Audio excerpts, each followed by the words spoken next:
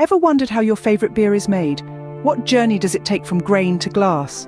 Or how it gets that unique taste and aroma? Well, sit back and relax as we unravel the secrets behind the scenes of beer brewing. The process of brewing beer is both an art and a science.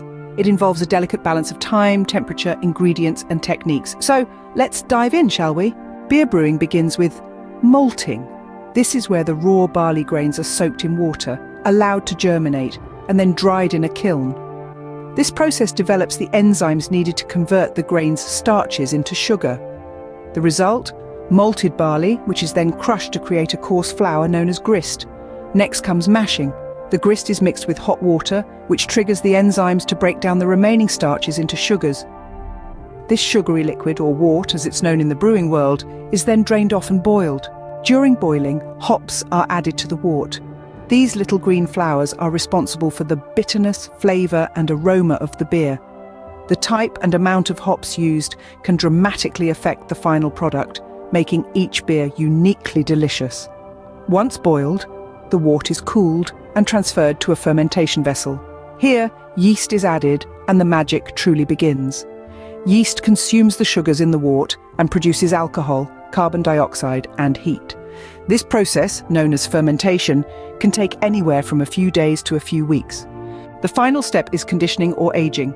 The beer is allowed to mature, allowing any remaining yeast and sediment to settle. This stage also helps to develop the beer's flavours and carbonation. And there you have it, the process of brewing beer from grain to glass.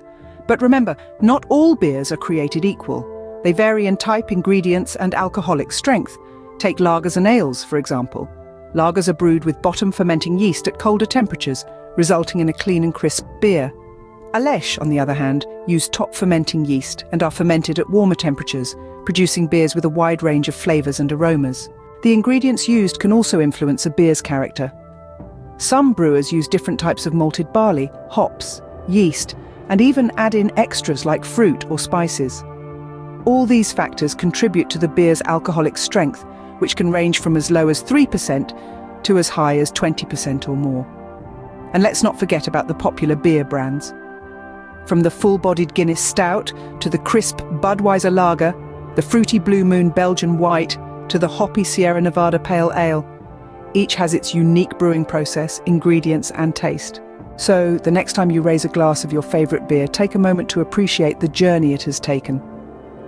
From humble grains of barley to the complex, flavorful brew in your hand, it's a process steeped in tradition, innovation and passion.